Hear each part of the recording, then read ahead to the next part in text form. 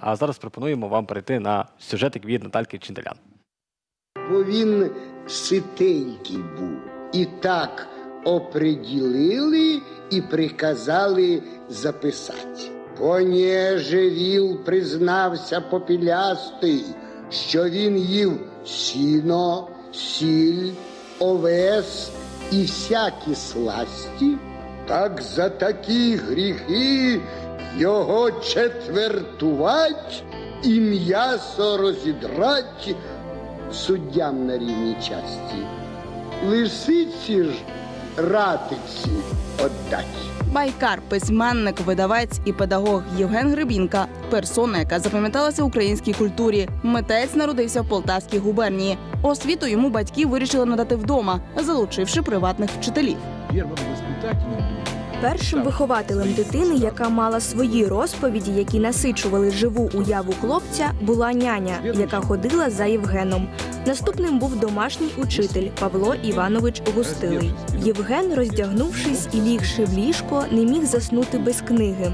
Мати любила його переважно перед усіма дітьми, боялась за його здоров'я, яке, на її думку, знищував він читанням в ліжку.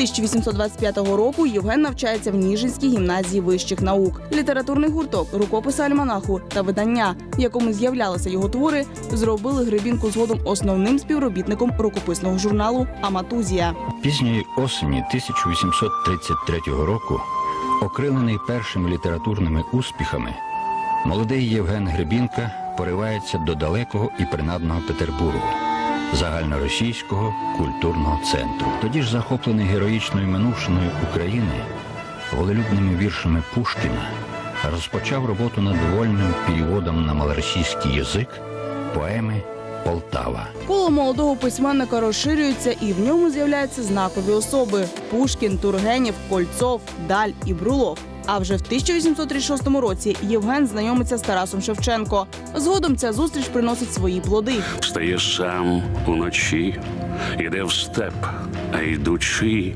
співа, сумно співає. Наносили землі, та й додому пішли. І ніхто не згадає. Нас тут триста.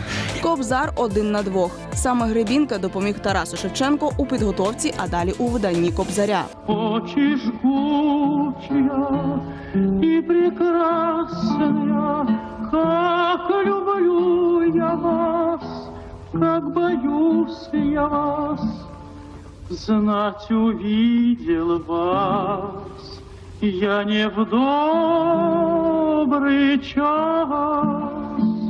Циганський романс і видатний вірш Очі чорні мав декілька різних найменувань. Ця поезія з'явилася після зустрічі письменника та світської молодої пані Марії Ростенберг. Вона також всією душею покохала молодого пана.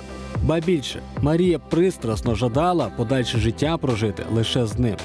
Тут Григорій Іванович розвели руками і благословили молодих, але звеліли чекати до наступного літа. Проте літературна праця письменника не зупинялася. Літературну славу Євгену принесли його малоросійські приказки у 1834-1836 роках. Повчальні байки не були банальними, адже були побудовані як звичайні легкі діалоги.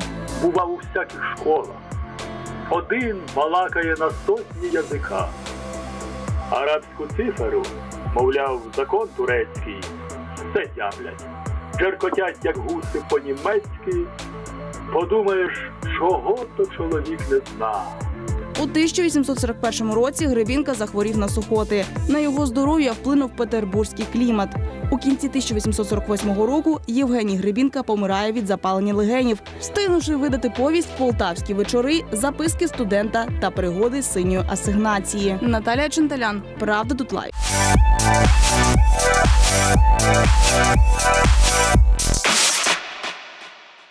Дякуємо вам за перегляд цього відео і сподіваємося, що у вас завжди тільки позитивні емоції, і ви хочете прокидатися разом з нами з 8 до 11. Але якщо ви не прокинулися, можна подивитися інтерв'ю на youtube каналі. Не забуваємо про ваші вподобайки, ваші підписки та дзвіночки.